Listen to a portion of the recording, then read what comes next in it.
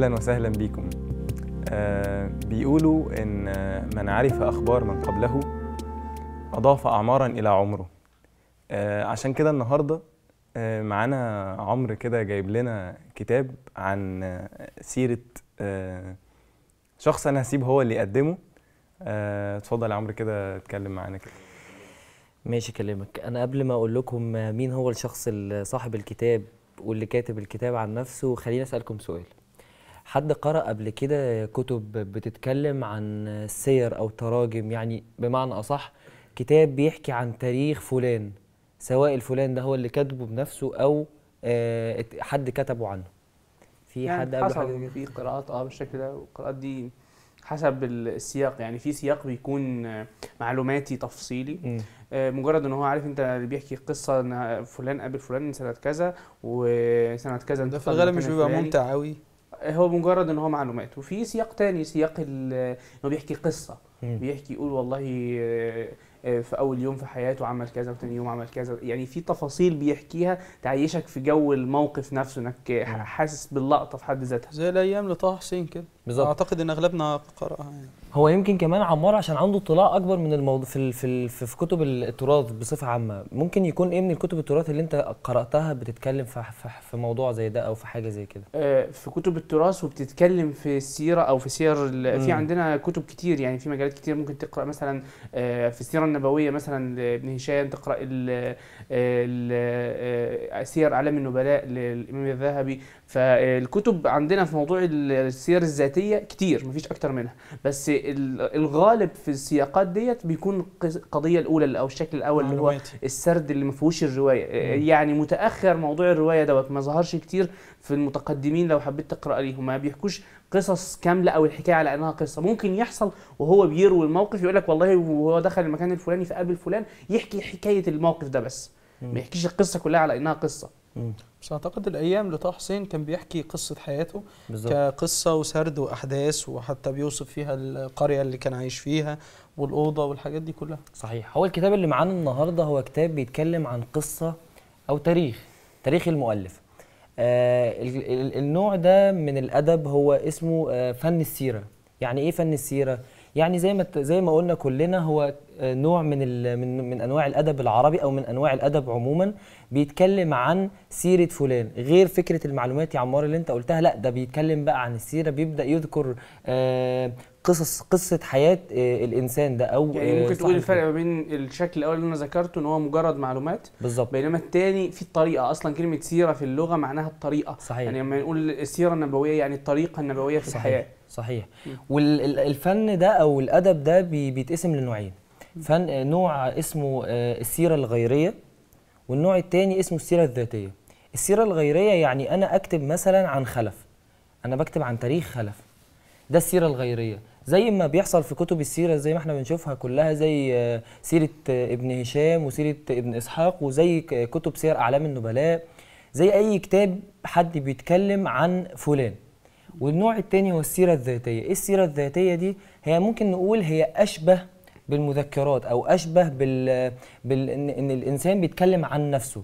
زي ما أنت قلت يا بسام كتاب الأيام بتاع طه حسين وزي كتاب أثقل من رضوى بتاع دكتور رضوى عاشور.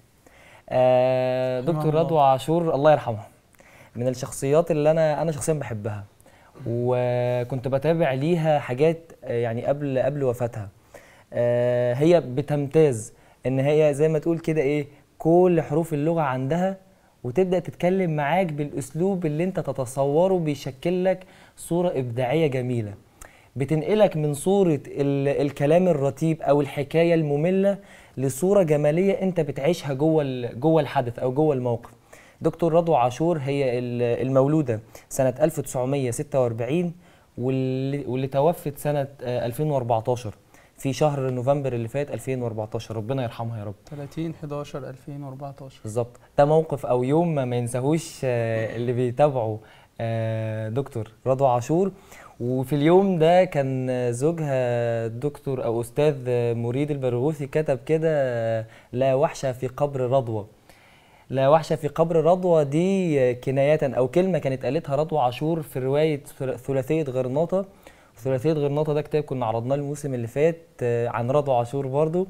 هي عموما رضوى عاشور هي أديبة.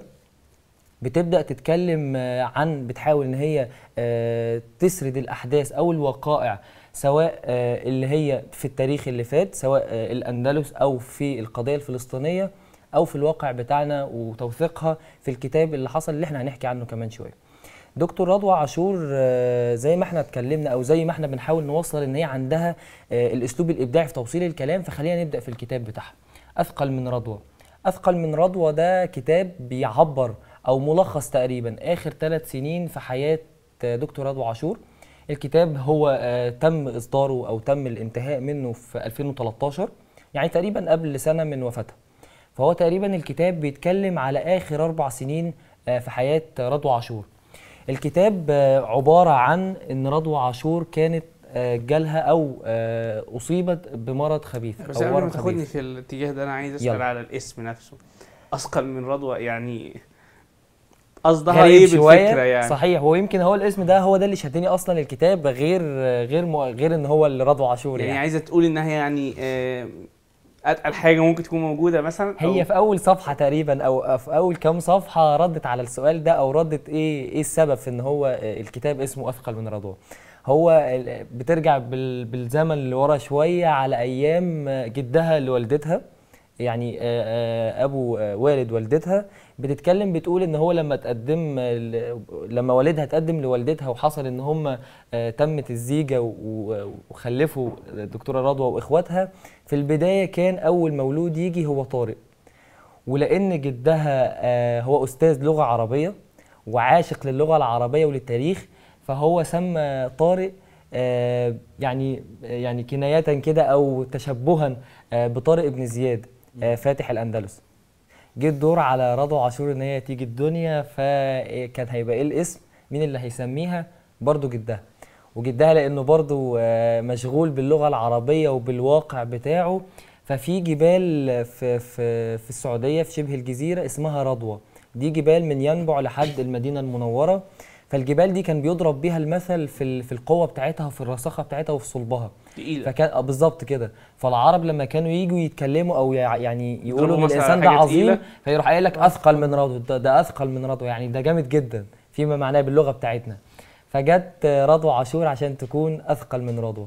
رضوى عاشور في الكتاب أو في الرواية في في, في رواية أثقل من رضوى بدأت بتحكي بالسيرة الذاتية بتاعتها عن فترة المرض بتاعتها فترة توثيق للمرض بتاعها وتوثيق لأحداث آخر أيام حياتها. الثورة. بالظبط. هو أصلا الورم أو المرض ده هي بتحكي دكتور رضوى عاشور بتقول إن تقريبا ما فيش بلد هي زارتها غير ودخلت المستشفى بتاعتها. هي بتمتاز كمان بالأسلوب ال- خفة الظل في في الكلام بتاعها. يعني هي ممكن تكون بتعرض وزي ما هنشوف كمان شوية بيسموه الأسلوب الساخر.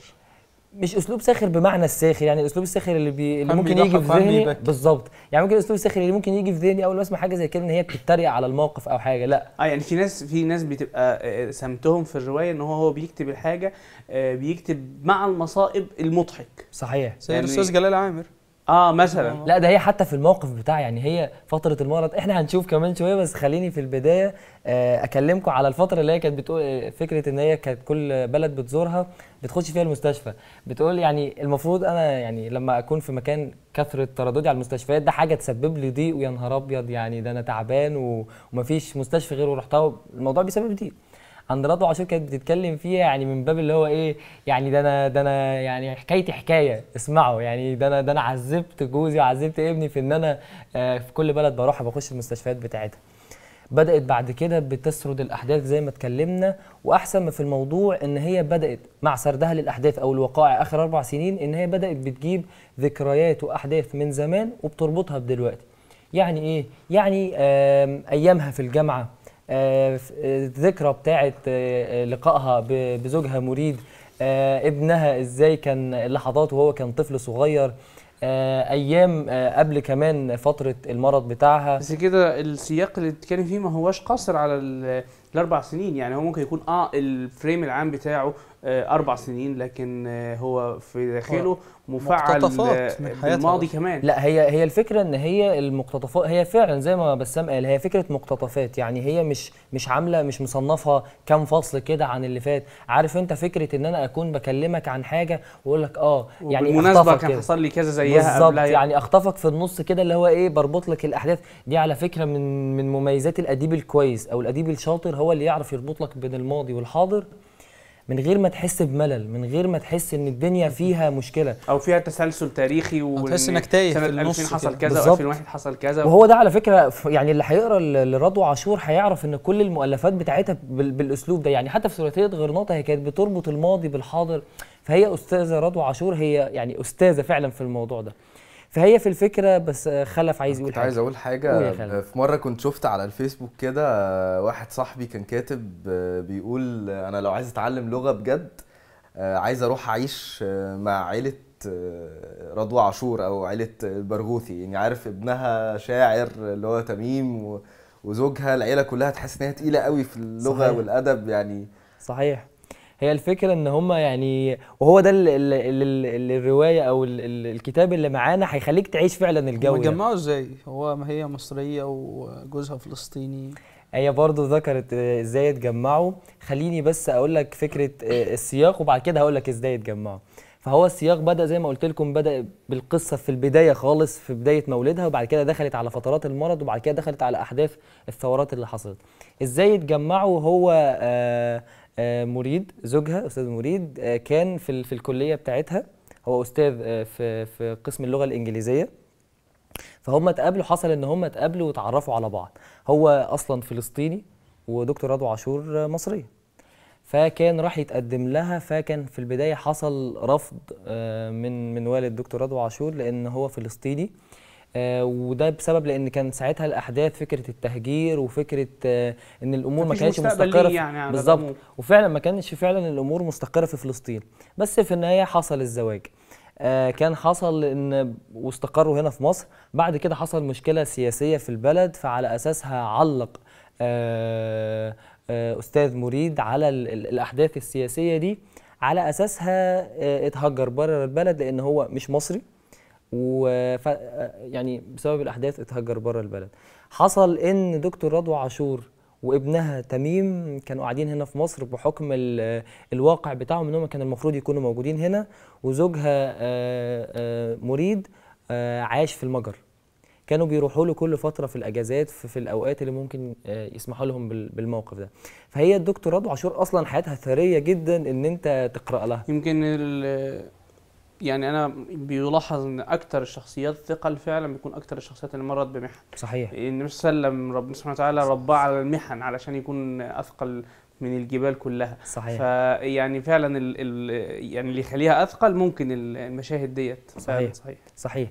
ويمكن ده هو اللي بدأت تعرضه دكتور رضوى عاشور مش من باب إن هي بت بتعرض لك متاعبها أو مشاغلها. يعني ممكن واحد يقول طب أنا هعمل إيه لما أسمع آه، قصة واحد مريض أو قصة واحدة مريضة وف- ومذكراتها مع الثورة؟ طب كل واحد بيكتب مذكراته يعني ليه ليه أنا أسمع مذكرات حد تاني؟ دي بيعملها الناس لما بيكون يا إما شخصية عامة فشخصية عامة في الغالب الناس دايما بتحب تعرف أخباره بتحب تعرف تعامله مع المواقف دي كان عامل إزاي أو بسبب الأحداث القوية اللي حصلت له فعلا فبيبدأ الموقف هو اللي اللي يؤهل الكتاب إن هو يقرأ. اللي حصل في الكتاب إن اجتمعت الفكرتين. المؤلف أو صاحب ال- ال- التدوين اللي هو دكتور رضوى عاشور والأحداث اللي مرت بيها.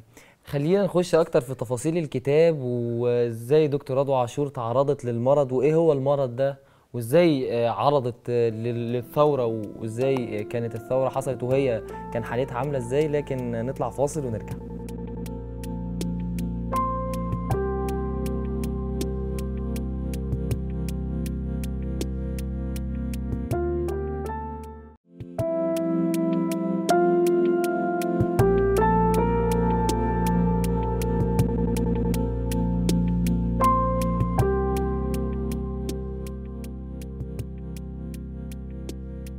رجعنا لكم بعد الفاصل. كنا بنتكلم في عايزين نخش شوية في الكتاب ونخش إزاي دكتور رضوى عاشور عرضت الأحداث.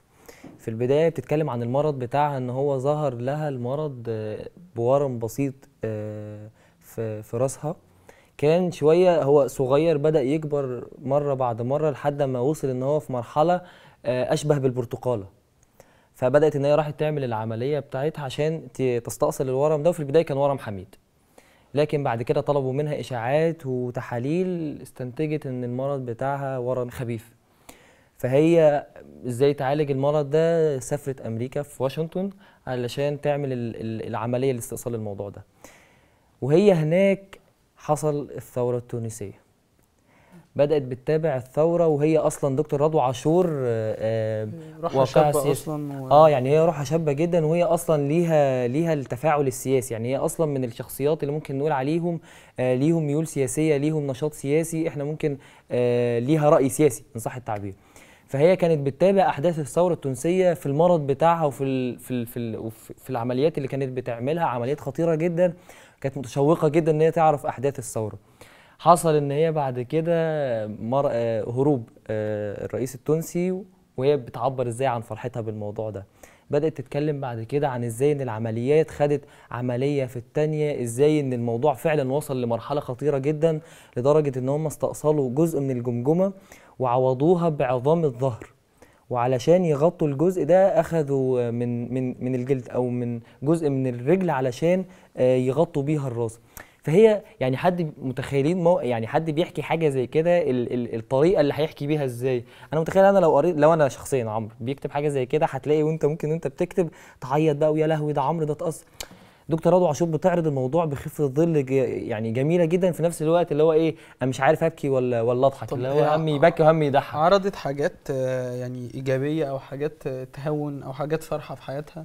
ولا كان كله الم- المعاناة والاسى اللي شافته في حياتها. بص هي بتقول إن هي بتعرض الكتاب مش عشان آه، تخلي القارئ يتعاطف معاها ولا علشان تحس يعني تخليك تكتئب وتخش في مود الكآبة.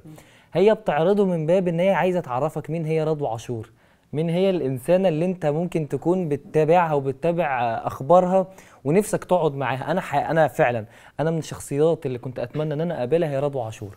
بس يعني تعرض الجانب ال- الم- المعاناة اللي عانته بس عشان تبقى أثقل التاني. يعني هي هتبقى منين أثقل من. رضوى لو أنت جبت شخصية مرفهة منعمة ما عندهاش مشاكل لا لا هي يعني عايز تقول لك إنها مع كل المشاكل اللي. مرت بيها ديت وهي لغاية دلوقتي ثابتة وبتكتب وعندها إرادة وعندها قرارات وعايزة تعيش وعايزة بكرة ففعلا أثقل من رضوى آه، يعني اسم على مسمى الكتاب. هي كان ممكن كمان تعرض آه، فكرة إنها مبسوطة برضو يعني كل اللي بيحصل ده وهي بتضحك وهي ما, ما أنا بسأل بقى الساخرة دي معناها إنها مبسوطة يعني النظرة آه، الساخرة دي أعتقد يعني حتى يعني أنا بتكلم إن هي تذكر مواقف عاشت فيها فرح لأن يعني الإنسان مش هيعيش أسى هي مواقف. الفرح تمثلت في فرحها بال- بالثورات اللي حصلت أو بالأحداث اللي حصلت سواء في الوطن العربي أو آه، ليها هي شخصيا بفرحتها بالأحداث دي فهي بعد ما هي بتذكر آه، مراحل العلاج بتاعها أو مراحل المرض بتاعتها وهي يعني إيه على يعني مش قادرة يعني نفسها تشوف ال ال الأحداث وهي بتحصل نفسها تتابع بس فعلا مش مش مش قادرة ومش عارفة لأن هي كانت في الوقت ده آه، في غرفة العناية المركزة أو في المستشفى بتتعالج ال- المواقف عدت والأحداث بتعدي معاها. حصلت الثورة المصرية حصلت إن رضوى عاشور موجودة في مكان مش موجودة فيها الثورة ولأن العيلة دي هي آه، عيلة ثورية ف وليهم تواجد سياسي كبير فهم عايزين يشاركوا في الموضوع. المهم هي بدأت تعرض آه، على الثورة المصرية وأحداثها وبما أنهم عيلة سياسية وليهم تواجد سياسي فكان كلهم نفسهم يكونوا متواجدين في الأحداث بس منعهم آه، مرض. دكتور رضوى عاشور بتبدأ تسرد الأحداث وبتبدأ تعرض إن هي إزاي كانت متشوقة جدا آه، لوجودها في الثورة وبتبدأ بأسلوبها وبطريقة عرضها هي بتوثق الأحداث دي كأديبة وكروائية. آه، الكتاب ممكن يعني آه، يصنف ككتاب تاريخ بيوثق حدث حصل وكرواية كسيرة ذاتية. يعني هو كتاب ميكس. أنا الحقيقة من الشخصيات اللي أنا كان نفسي أقابلهم أو أتعرف عليهم هي دكتور رضوى عاشور. أنا ما سمحليش الوقت إن أنا إن أنا أقابل دكتور رضوى عاشور بسبب آه، انتقالها بس الكتاب عايشني فعلا مع رضوى عاشور. هي فعلا أو تعليقات ال ال الشباب على موقع Goodreads اللي بتتكلم على الكتاب بيقولوا إحنا بيشاركوا نفس الحالة بتاعتي كان نفسهم يكونوا موجودين مع دكتور رضوى عاشور ويقابلوها بس الكتاب كأن رضوى عاشور استضافوها في بيتهم. الكتاب كأن رضوى عاشور هي موجودة معاهم في البيت. اللي قرأ الكتاب في يومين واللي قرأه في أربع أيام كان مستمتع بكل صفحة بي- بيقرأها. كان حاسس إن الأس- الأستاذة العظيمة اللي عندها إبداع في في طريقة توثيق الكلام وفي طريقة آه، بتعبر عن اللي جواها بأسلوب إبداعي جدا هي رضوى عاشور اللي موجودة معاهم في البيت. آه، أنا عرضت الكتاب آه، على حسب ما أنا استمتعت بيه وعلى حسب ما أنا حسيته. رضوى عاشور طبعا يعني آه، أكبر من إن أي حد ممكن إن هو يتكلم عليها آه، بأسلوب يعني آه، بطريقة بسيطة أو في مدة بسيطة هي محتاجين لها حلقات. آه، إن شاء الله يكون الكتاب آه، استمتعتم بيه. نشوفكم في حلقة جديدة إن شاء الله وكتاب جديد وبرنامج المكتبة